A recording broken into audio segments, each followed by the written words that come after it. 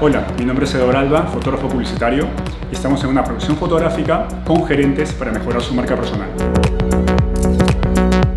En esta oportunidad he usado tres luces para poder generar una tridimensionalidad en las fotos.